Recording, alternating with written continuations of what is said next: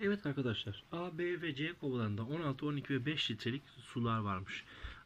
A kovasından A litre, B kovasından da B litre C kovasına aktarıldığında bunların suları eşit olacakmış. Ben de onu şöyle yaptım. 16 eksi A eşittir. 12'ye biliyorsunuz A eklenmiş sonra B çıkarılmış. Daha sonra da C'ye 5 B eklenmiş. Birinci ve üçüncü denklem ikinci ve üçüncü denklem Bunlar ortak çözüldüğü zaman B eşittir 6 çıkıyor. Yani burası 11 oluyor. İkinci sorun çözümünde daha önce 6 kalem düşüyor. Her birine 4 kalem verirse kendisi 12 kalem kalıyor. Ve dolayısıyla arada 2 kalemlik bir fark var. Şimdi o zaman ne yapıyoruz? 12'yi 2'ye bölüyoruz.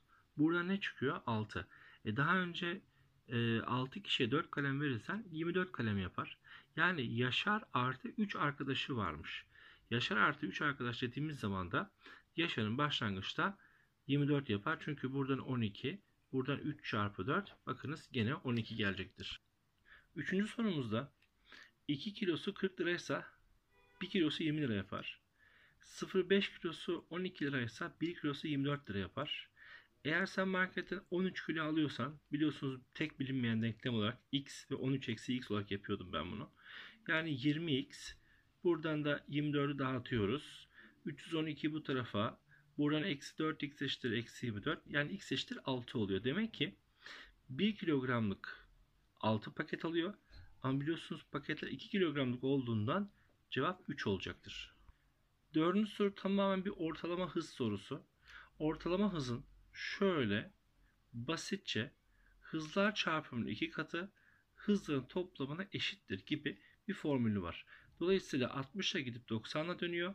Yukarıda çarpım var, aşağıda toplam var. Gerekli sadeleştirmeler yapıldığında da cevap 72 çıkıyor. Şimdi sizinle daha önce de bilet kuyruğu sorularından yapmıştık. En az dediği zaman 16'yı ve 12'yi bu şekilde paylaştırıyoruz. Baştan 16 ve sondan 12. Araya 6 kişi koydum. Şimdi burada 16 ile 12 topladığımda yani 28 yapar. Şuradaki 8 kişiyi 2 kere toplamış oluyorum. Dolayısıyla 8'i çıkarıyorum ve cevap burada ne oluyor? 20 oluyor. Evet elimizde 34 kilo incir var. Bunun bir miktarına x, diğer miktarına 34 eksi x dedim. Birinci kasadaki incir ağırlığın 3'te birini kaybediyorsa 2 bölü 3'ü kalır. İkinci kasadaki 1 bölü 4'ünü kaybediyorsa 3 bölü 4'ü kalır.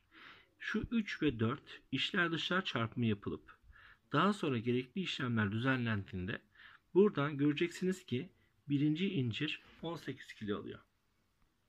Evet bu da yine daha önce yaptığımız sorulardan. Şimdi bir mağazaya 10 kişi gelip 10 lira öderse 100 lira kazanmış olursun. Eğer 10 kişi yerine 14 kişi gelir 8 lira öderse 112 lira kazanmış olursun. Dolayısıyla burada %12'lik ne olur? Bir artış olur. Şimdi arkadaşlar tren ve tünel sorularında trenin boyu ile tünelin boyunun toplamı alınır. Trenin hızı 20. Zaten şunu bilmek gerekiyor. Yol eşittir hız çarpı zaman. Şimdi siz 20'lik hızla 180'lik yolu 9 saniyede alırsınız. Peki bu arkadaş 50'lik hızla pardon özür dilerim 15'lik hızla çarpı 9 yaptığımız zaman ne kadar yol alır? 135 yol alır. Peki bunun tünelden çıkması için toplam kaç yolu vardı? 150. E demek ki 150'den 135'i çıkardığımızda daha onun 15 metrelik yolu kalır. Evet bu da bugün en son işlediğimiz konudan. Bakın 30 litre %20'si 6 yapar. 20 litrenin %30'u yine 6 yapar. Bunları birleştirdiğimiz zaman elimizde 50 kilogramlık içerisinde 12 kilo ya da litre pardon şeker olan bir karışım olur. Siz buna 10 litre su eklerseniz karışımımız 50 litreden ne yapacaktır? 60 litreye çıkacaktır. İçindeki şeker 12, tüm karışım 60. 12 bölü 60 ne yapar arkadaşlar? 1 bölü 5 yapar. 100'ü de 5'e bölersek %20 olur. Bu mum soruları oldukça önemli sorulardır. Şimdi bir mumun boyu x ise bunun 1 saatte ne yapar arkadaşlar? 1 bölü x'i yanar. Dolayısıyla t saatte t bölü x'i yanar. Şimdi biz burada ne yapıyoruz? Bakın ben burada x'leri katmadım. x yerine 1 yazdım. 1 saatte 1 bölü 5'i yanar. 2 saatte 2 bölü 5'i yanar.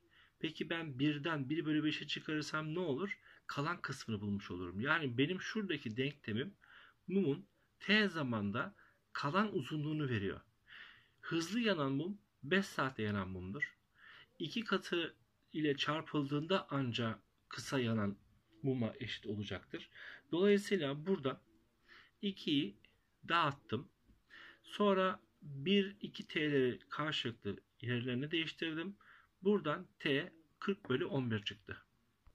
Şimdi arkadaşlar matematik sınavından 75 almış. İkinci sınavdan bunun %20 düşüğü 75'in %20'si 15 yapar. 75'ten 15 çıkardığım zaman ne yapıyorum? Notu 60 oluyor.